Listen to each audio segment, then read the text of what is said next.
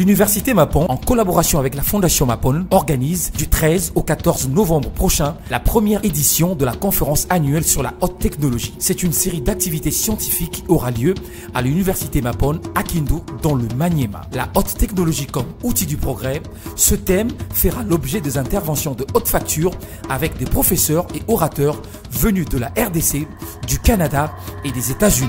Avec comme sous-thème l'impact de l'éducation dans le développement de technologies des nations, la problématique de la rentabilité de l'exploitation minière en RDC face aux nouvelles technologies, la stratégie de développement urbain pour une ville intelligente, défis et perspectives pour la RDC et bien d'autres thématiques qui seront exploitées par des professeurs et chercheurs des renommées internationales.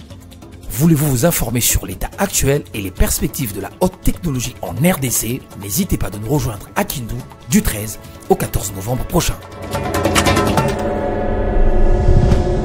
Université Mapon, la connaissance libère, la discipline élève.